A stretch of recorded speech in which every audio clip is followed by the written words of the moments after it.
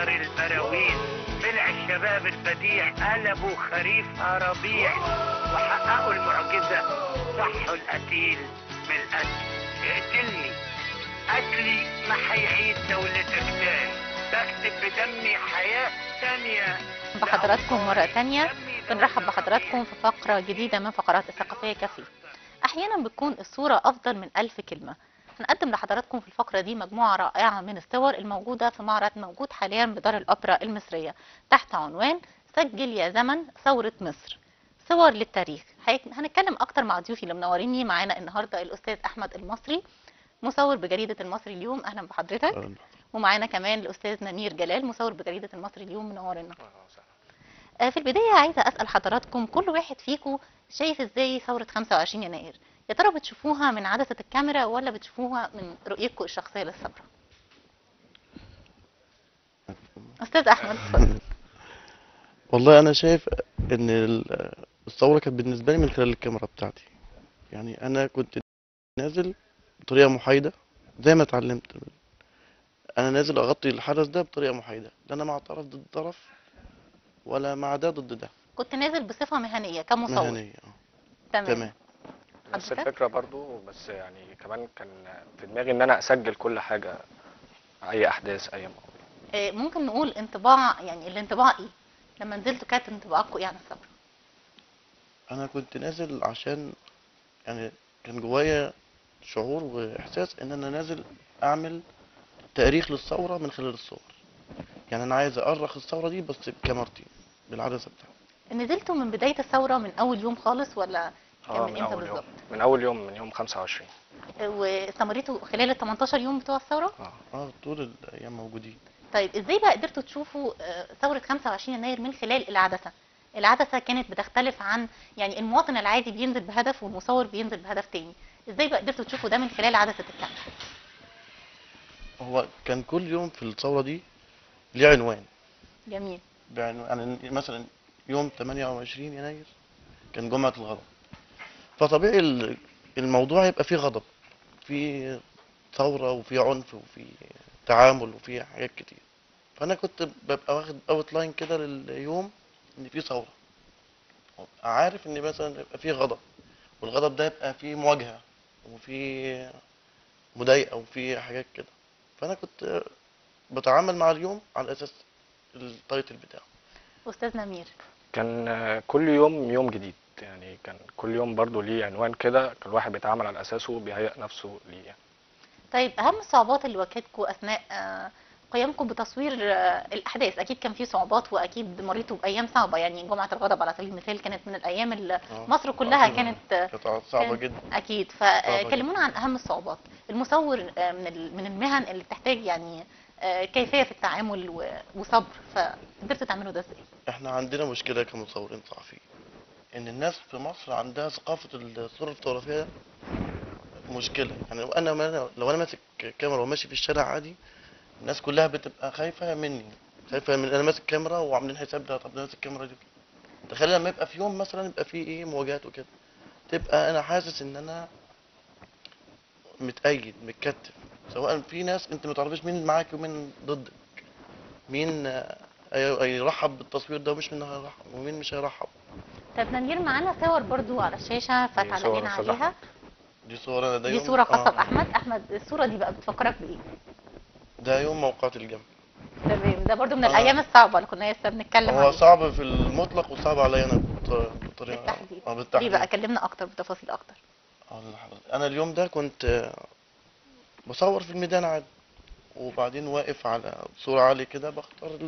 يعني فجأة لقيت الجمال دي هجمة على الميدان واقف بصور وخدت الصور اللي أنتوا حضراتكم شايفينها دي. بعد كده قلت اما انزل بقى من على السور ده وابقى في الميدان بقى في ال- في الموقع يعني زي ما بيقولوا. ف وأنا بصور كنت واقف مع المؤيدين. خدني الشغل ولقيت نفسي واقف قدام الايه المعارضين. فراح المؤيدين راحوا واخديني وايه وابتدوا إيه عايزين ياخدوا الكاميرا مني.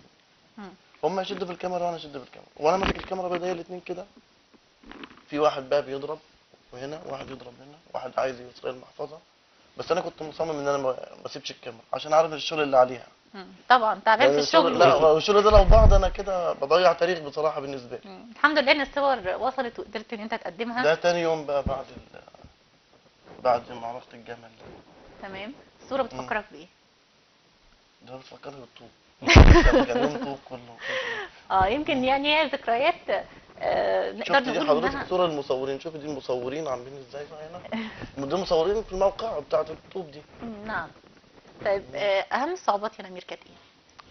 كانت برضو يعني محدش عارف مين مع مين مين ممكن يضايقك مين ممكن يرحب بوجودك بالكاميرا. نفس الموضوع برضو. في نفس الوقت الواحد برضو يعني حاسس إن هو تايه في النص. طيب لو رجعنا لبدايات الثورة الثورة بدأت بمظاهرات سلمية وبعد كده بدأ العنف من قبل رجال الأمن وتلاحقت الأحداث حتى تنحى الرئيس مبارك. عايزين بقى نعرف تركيزكم كان على ميدان التحرير بس ولا التركيز كان على كل المحافظات؟ يعني امتد الإسكندرية الإسماعيلية السويس المحافظات التانية. فالتركيز كان على إيه؟ إحنا في تغطيتنا في المصري اليوم آه عندنا في كل مكتب في كل محافظة مكتب للمصري اليوم بالمحررين بالمصورين بتوع كل فاحنا كنا معنيين أكتر بال... بالقاهرة يعني أنتوا صوركم آه. كلها آه، أحمد آه. ونبيل صوركم كلها القاهرة. كانت خاصة بميدان التحرير تحديدا. ما خرجتوش بره لا يعني مش بداية التحرير نفسه في كمان في مصطفى محمود في طبعا ليا آه، صور في ودي القاهرة صورة معنيين أكتر برضو بالقاهرة طيب دي في صلاح سالم. في صلاح سالم مظاهرة طالعة من رابعة العدوية طالعين مشي لغاية التحرير فكان التركيز أكتر على آه، داخل القاهرة ما يعني ما كانش في امتداد. للمحافظات بالنسبة لكم أنتوا مش آه. بالنسبة لا بس في للجريمه محافظة زي محافظة السويس كانت آه، محافظة عايزة أكتر من مصور. فسافر لها زميلنا محمد عبد الغني برضه راح في السويس ليه صور معانا هنا من السويس. تمام. آه، أكيد كل صورة داخل المعرض بيكون ليها قصة أو حكاية معينة. أهم الصور أو الصور اللي مرتبطة بقصة معينة من وجهة نظركم أنتوا كانت إيه؟ يعني إيه الصورة اللي انت مثلا فاكرها وعايز تتكلم عليها وراها حكاية؟ هي غير الصور اللي عرضناها. في حاجة تانية يعني نقدر نتذكرها مع بعض ولا مفيش حاجة تانية مميزة؟ لا هو يوم 28 برضه كان الصور ال- مم. الأكتر كانت خاصة بيوم 28 آه يوم 28 برضه كان في قنابل المثيرة للدموع طيب نمير من. المعروف إن كان في عدد كبير جدا من الصور في المعرض وشكلتوا لجنة برئاسة المصور الكبير فاروق إبراهيم لاختيار أفضل الصور اللي هتشارك في المعرض. يعني كلمنا أكتر عملتوا إيه؟ اللجنة دي كان دورها إيه؟ لا هو أنا ما كنتش حاضر بس هم هم يعني إحنا بعتنا الشغل هم اختاروا أحسن الصور اللي كان ممكن تتعرض في المعرض. جميل. آه، المعرض موجود دلوقتي في دار الأوبرا المصرية عندكم فكرة هيستمر قد إيه؟ أسبوع إن شاء الله. جميل جدا. ما فكرتوش بقى إن المعرض يمتد آه، لمحافظات مصر كلها عشان الجمهور يقدر يشوف الصور الرائعة دي؟ يعني هي مجرد فكرة إن المعرض يكون في أكتر من مكان آه، يشمل المحافظات ولا الفكرة دي من الأفكار اللي كانت بعيدة؟ لا، هو المفروض إن ده هيحصل فعلا وأكتر من كده يخرج بره القاهرة بره مصر كلها. عشان دي تبقى حلوة مم. حتى إن شغلكم يكون موجود قدام آه،. آه، شريحة كبيرة من الجمهور يعني. بص حضرتك أنا لو أنا بصور ال- الثورة يعني ما كنت ما كنتش معني قوي إن أنا أصور للجورنال أكتر ما أصور لنفسي. يعني كان نفسي أعمل صور تاريخ ليا أنا. أنا شاركت. حاجة تحسب ليك أنت حاجة تحسب شخصيا. ليا شخصيا. عشان أوريها لأولادي بعد كده أقول لهم أنا كنت موجود في الثوره أنا شاركت. طيب آه، نمير يعني من المعروف دايما إن الصورة أبلغ من الكلمة أو ممكن نقول إن الصورة آه، بألف كلمة زي ما بيقولوا. آه، ما فكرتوش بقى إن أنتوا تجمعوا الصور دي كلها وتعملوها في كتاب بحيث إن أنتوا تبقوا يعني عملتوا زي تاريخ ليكوا أو تحافظوا على الصور دي؟ والناس كلها تقدر إن هي تقرا يعني تقدموها في كتاب ويكون موجود هو في. المعرض تقريبا هم يعني شغالين في الموضوع بالفعل؟ لا لسه شغالين في الموضوع ده وإحنا عن نفسنا إحنا يعني إحنا بحاول برضو مع زملائي نعمل حاجة زي كده آه، هي فكرة حلوة لأن يعني أهم حاجة إن شغلكم يوصل للناس كلها وبالتالي أنتوا ممكن تط... يعني يكون في طرح من ناحيتكم حاجة زي كده يعني آه، كنا بنشوف صور كتير قوي على الإنترنت خاصة بالعنف اللي استخدم ضد الشباب آه، هل في صور زي كده شفتوا ردود أفعال مثلا عليها ولا كان الموضوع ماشي إزاي؟ يعني ردود أفعال الجمهور العادي كانت إزاي على الصور؟ والله إحنا في, في ناس يعني شافت الجورنال ويوم مثلا الصور لما كانت بتنزل كان بيجي لزمايلنا تليفونات تهنئه ده صوركم كويسة صوركم حلوة الصورة النهارده كويسة الصورة النهارده معبره يعني الصورة اللي اتعرضت يا أحمد من شوية الخاصة بيك أنت كان فيها آه، يعني بتاعة الطوب. آه، دي صورة فيها عنف شوية. رد الأفعال كان إيه يعني؟ رد الأفعال اللي وصلتك كان إيه؟ تعليق آه، الناس إيه تعليق. على الصور ما قلت لحضرتك يعني بتبقى آه لا والله ده مجهود كويس ده مجهود آه، تشكروا عليه الصورة حلوة الصورة في تعليقات. سلبية يا نمير كانت على الصور الخاصة بيك ولا ولا إيجابية ولا كانت شكلها لا إيه؟ هو كده كده الواحد بيتعلم كل يوم فبرضه بيبقى في حاجات. آه نصايح كده بناخدها من أساتذتنا مثلكم الأعلى في التصوير مين؟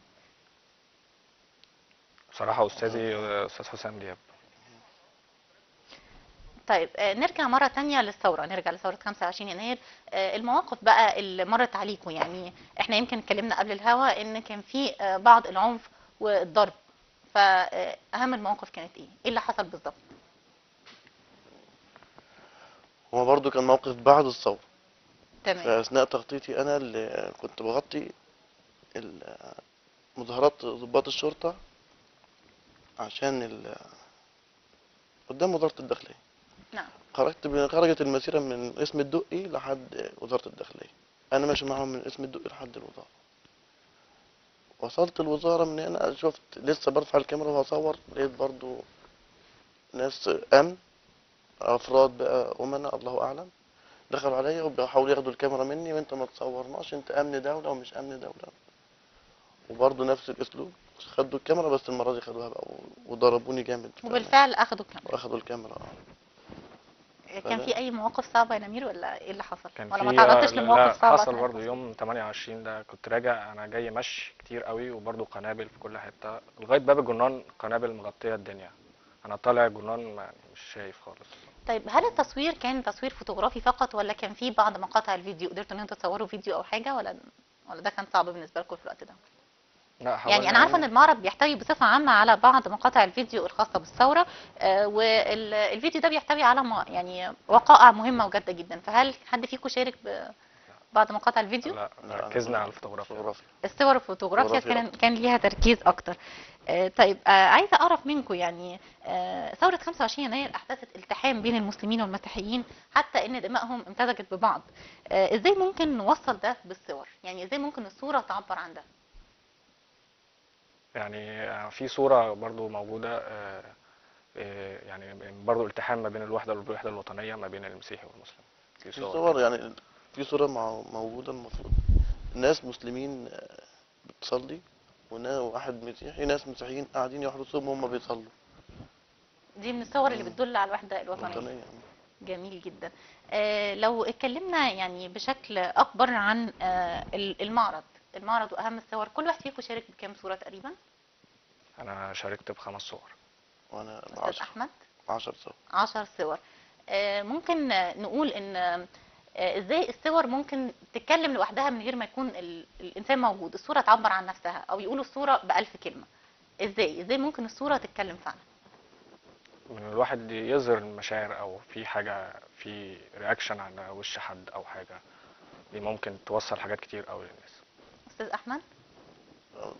أول بز... عن طريق ال reaction رد الفعل اللي بيظهر عليكي لما تشوف الصورة. أول ما تشوف الصورة بتعرفي لو لو الصورة مبهجة ومفرحة هتلاقي أنت نفسيا انبهجتي. لو الصورة فيها حاجة تقدر ت... هي بتخرج المشاعر جواكي ايا كان الصورة دي عاملة إزاي. طيب نرجع تاني للثورة. يا ترى كنتوا تتوقعوا نجاح ثورة 25 يناير مشاركتكم فيها كشباب بقى بعيدا عن التصوير؟ نازلين وانتوا حاسين إن الثورة هتنجح وهتحقق كل مطالب الشعب ولا لأ؟ يعني هو كان 50% برضو ما كانش حد يعرف إن هنوصل لإيه بالظبط هو أحمد كنت كان نازل والروح آه. اللي كانت مسيطرة عليك كانت إيه؟ إن هي يعني كل يوم في مكاسب أكتر يعني هي كانت رايحة أكتر للي النجاح كل يوم يعني اليوم اللي جاي أبقى في مكاسب أكتر من إمبارح طيب أخيرا بقى عايزة كل واحد من حضراتكم يقول لي إزاي مصر إزاي من خلال عدسة الكاميرا الخاصة بيه حاليا في ظل الأحداث الجاية اتفضل يا نمير شايف مصر إزاي؟ والله يعني أحب أشوفها أحسن إن شاء الله يعني دلوقتي بعد الثورة شايفين مصر إزاي من خلال عدسة الكاميرا الخاصة بيك يا أحمد؟ أنا شايف إن قلق بصراحة في توتر في مظاهرات فئوية كتير في ناس متوترة كتير ناس خايفة كتير أنا شايف الموضوع في قلق شوية سجل يا زمن ثورة مصر صور للتاريخ ده كان عنوان المعرض الموجود حاليا في دار الأوبرا المصرية. بشكر ضيوفي اللي منوريني النهارده. كان معانا أحمد المصري شكرا ليك. وكان معانا نمير جلال ميرسي على وجودك معانا. مشاهدينا والفقرة الأخيرة من الثقافية كافيه مع الزميل عبد الله يسري فكونوا معنا وشفناه